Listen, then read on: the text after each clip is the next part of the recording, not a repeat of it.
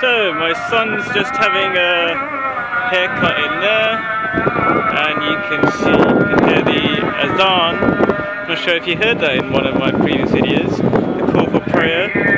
So people are probably going to close up in a minute. I love this, uh, you see the grapes growing, they're real grapes, outside the barbers.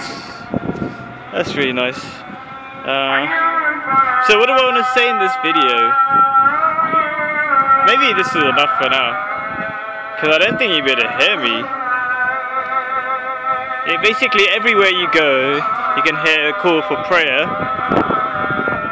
And uh, it's still the month of Ramadan, if uh, I didn't mention that before. So people are fasting, being extra spiritual. And... Uh, what else is to say? Yeah, so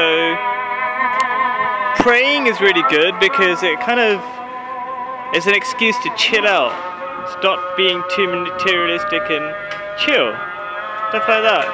Uh, in the first barbers I went to, the guy was asleep and they weren't serving at all or whatever, so interesting, interesting, all interesting. I like how the guy, owner of the shop was just sitting outside on that computer chair, that swivel chair. Anyway, That'll do for now.